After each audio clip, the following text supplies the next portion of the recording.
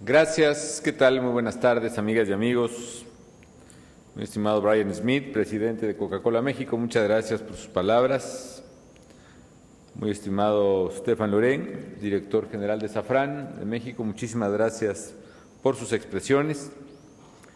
Saludo a sus, los excelentísimos embajadores Wyszynski de Canadá, aquí presente, al eh, embajador Dinesh Kumar de República de India, también aquí presente, al excelentísimo Wang Boksho de la República de Corea, a la excelentísima Judith McGregor, embajadora del Reino Unido, también en nuestro país. A, a todos ustedes, desde luego, los saludo con afecto.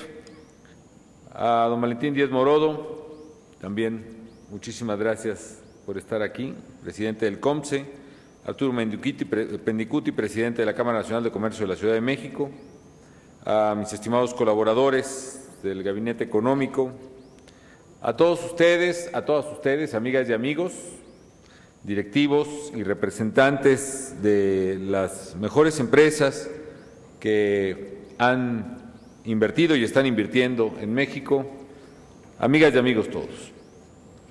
Pues en primer lugar agradezco muchísimo la invitación a este evento por parte de los organizadores y refrendo lo que aquí se ha dicho, que México es oportunidad. México es oportunidad de crecimiento, México es oportunidad de desarrollo, lo es desde luego para las empresas mexicanas y lo es también, y qué bueno, para quienes tienen la visión de invertir aquí y ahora en nuestro gran país. Por eso me llena de satisfacción estar con todos ustedes en este evento que se denomina con mucha certeza México es oportunidad. Verdaderamente lo es. Mi saludo además no solo es a ustedes, directivos de empresas y representantes de inversiones globales, sino también, por favor, pido que lo transmitan a los miles y miles de trabajadores que día con día están laborando en sus instalaciones. Sin duda, amigas y amigos, la crisis económica internacional representó, sigue representando desde luego para el mundo enormes retos y la excepción no fue para México. Gracias, sin embargo, a una suma de esfuerzos, gracias a que los trabajadores, las empresas, los inversionistas, el gobierno federal nos decidimos a enfrentar el problema y a superarlo, hoy el país está superando precisamente esta difícil situación. Hoy, como vemos todos los días, vemos que muchos países, incluso varios países desarrollados, ahora varios países europeos, están enfrentando graves problemas financieros. Nuestra economía, sin embargo, se ha mantenido sólida, se ha mantenido estable y eso ha permitido que México se consolide aún más como una de las mejores alternativas de inversión en el mundo. Qué bueno que sea así. Esto ha sido ratificado además por ustedes, ha sido ratificado por decisiones económicas de miles y miles de millones de dólares que han venido a establecerse en México, que siguen en curso de establecimiento otras y que por supuesto no solo nos honran con sus inversiones, sino también le generan al país un enorme beneficio económico y social y le generan también a sus empresas la oportunidad de encontrar márgenes muy rentables en condiciones de certeza como la que brinda México y las instituciones del gobierno mexicano. Las inversiones que se han aludido pues son de muy diverso tipo.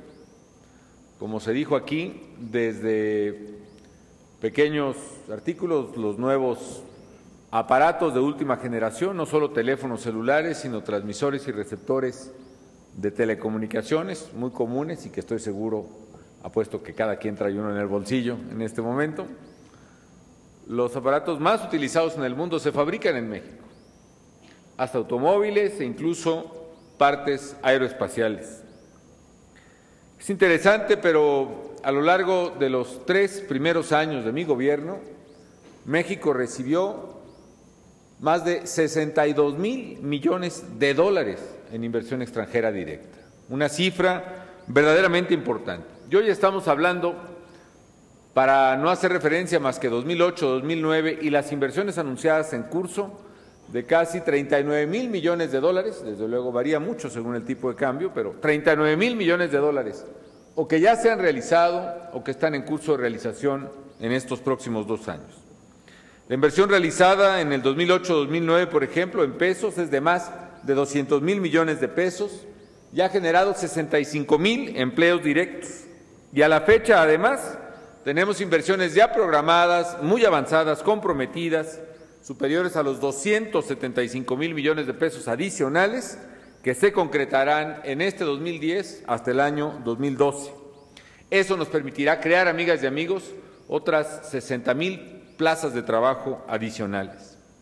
En suma, alrededor de 125 compañías globales están invirtiendo e invertirán más de 475 mil millones de pesos lo que se traducirá en casi 125 mil puestos de trabajo para los mexicanos.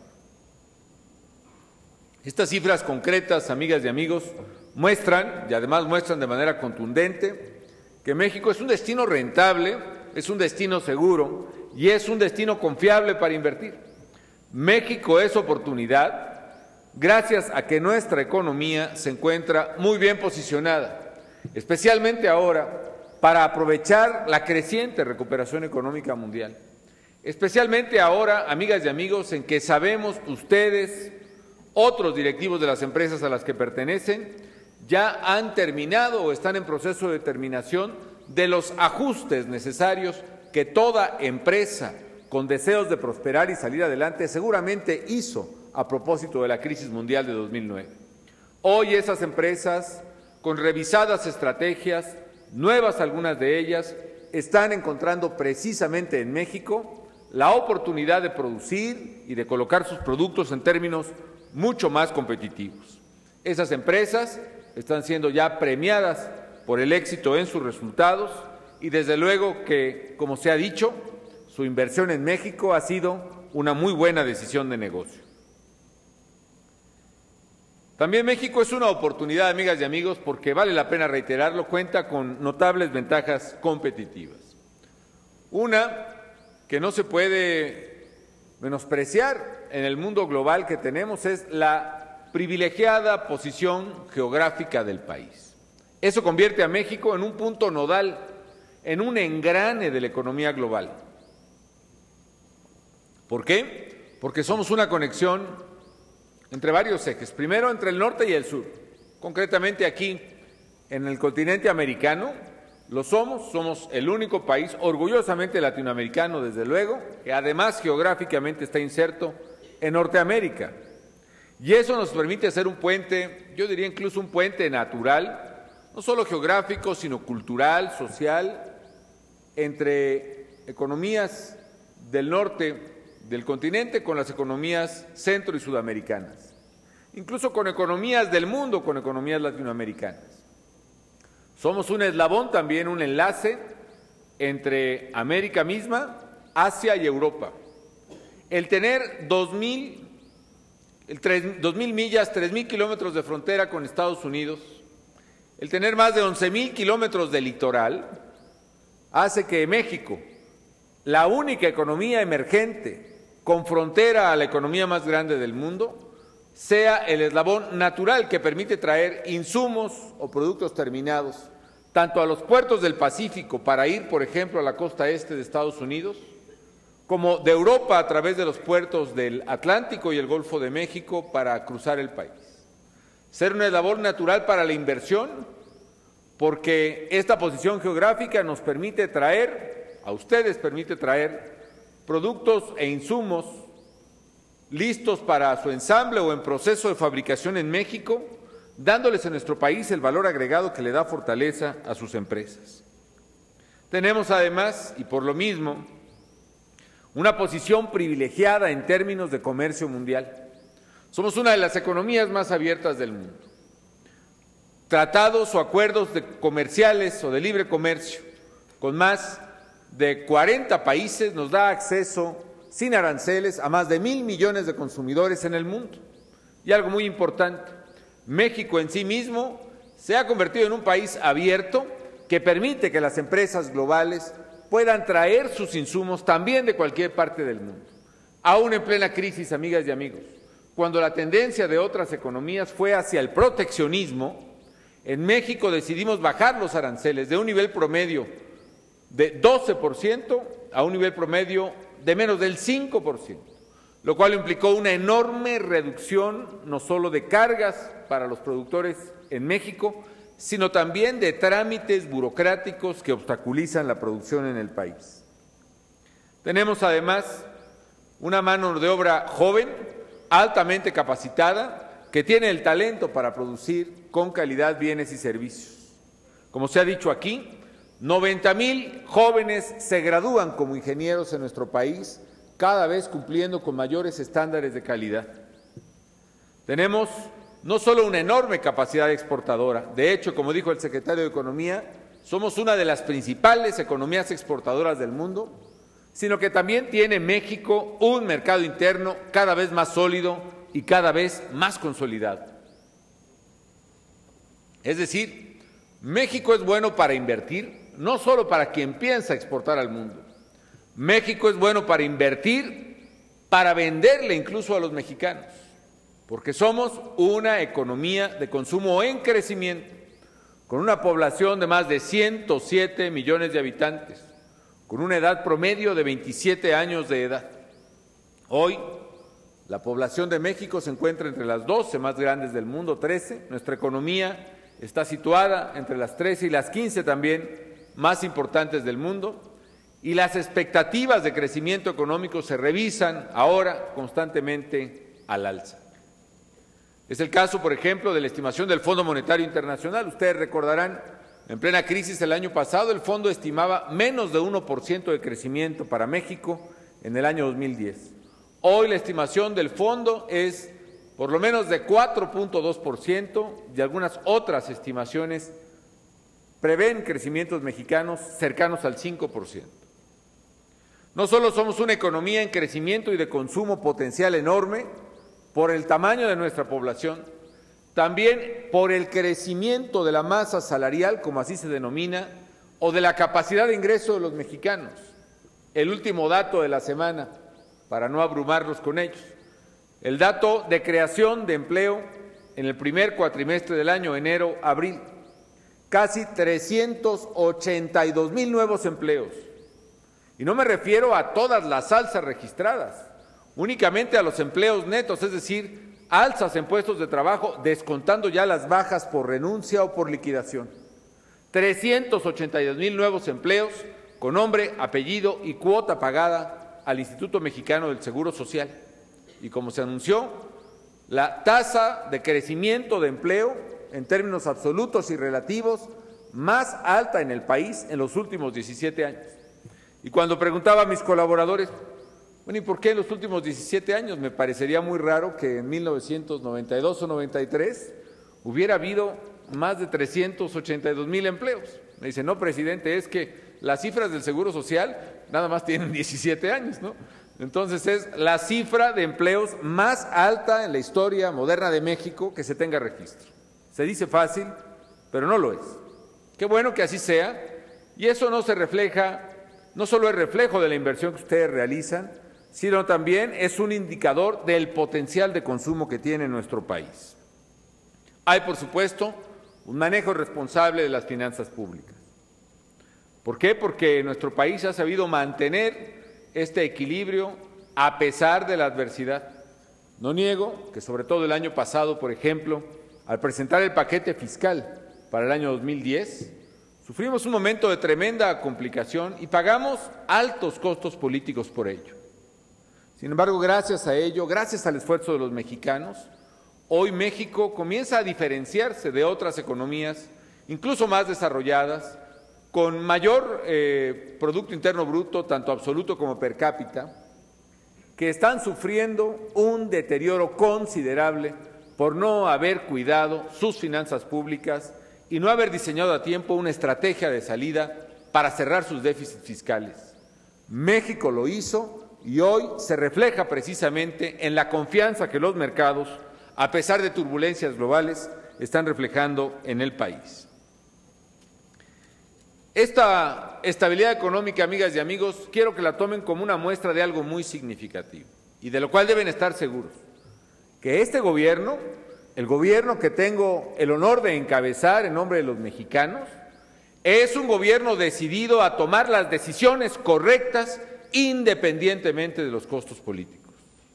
Es un gobierno decidido a mantener el rumbo de México de manera firme en cualquiera de los retos y en cualquiera de las adversidades que se presenten para el país. Trátese de la seguridad pública o del problema de salud como el que vivimos el año pasado, o bien de la baja en los ingresos de finanzas públicas que también vivimos. El gobierno federal, pues, está decidido a impulsar el crecimiento de México y sabe que para ello es vital la inversión nacional e internacional, pública o privada. Necesitamos inversión y eso es lo que estamos promoviendo.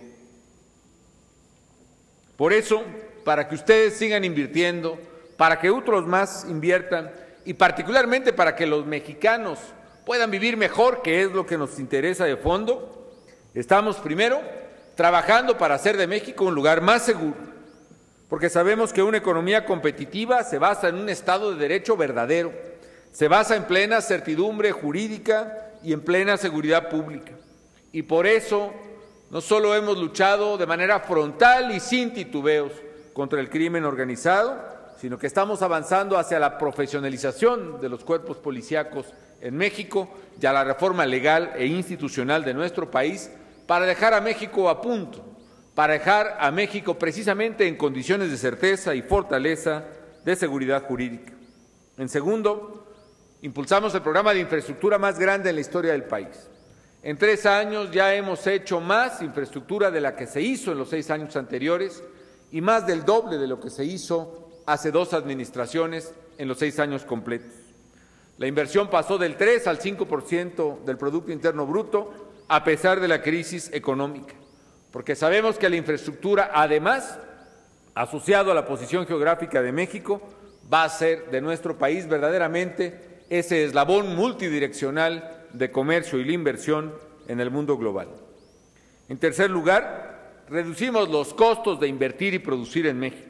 Simplificamos los trámites de comercio exterior, reducimos aranceles, eliminamos otras regulaciones innecesarias. Eso se refleja, por ejemplo, en tres indicadores que les voy a dar para que para fundar este criterio.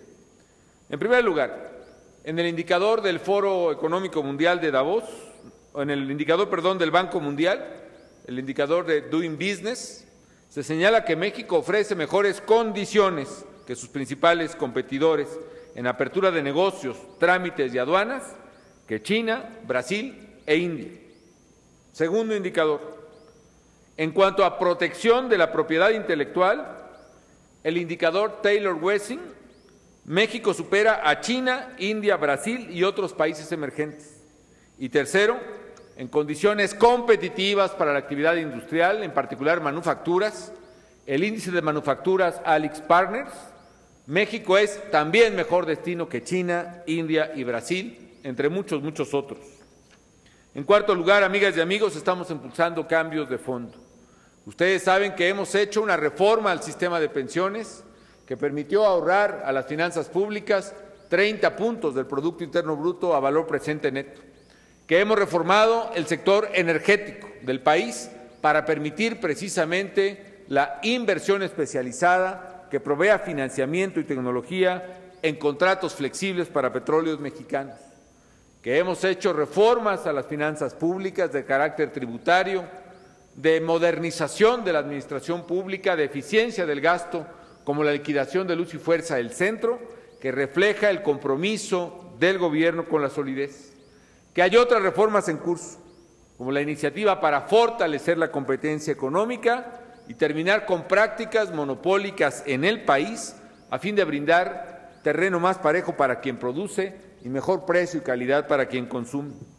Por eso también estamos impulsando una reforma en materia laboral para dar más espacio a la competitividad y al empleo de mujeres y de jóvenes. Por eso también estamos licitando más que nunca frecuencias públicas para acelerar las telecomunicaciones, la banda 1.7 y 1.9 en licitación, la red de fibra óptica de la Comisión Federal de Electricidad y otras medidas más que queremos lleven a México a la vanguardia en materia de telecomunicaciones. Así que, amigas y amigos, señoras y señores empresarios, señoras y señores legisladores aquí presentes, amigos todos. Gracias por invertir en México. Gracias por confiar en nuestro país. Porque sé, ustedes saben, esa confianza será precisamente respondida con el éxito de sus empresas, como ya está ocurriendo.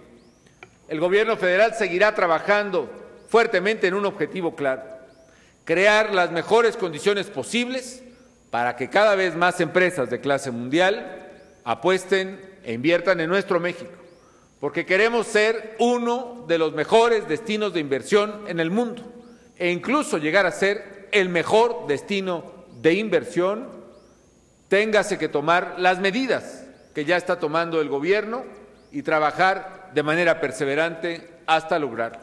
Hoy México busca generar y está generando para la inversión condiciones de certeza, condiciones de rentabilidad, condiciones de seguridad, de estabilidad económica y financiera indispensables para un buen negocio.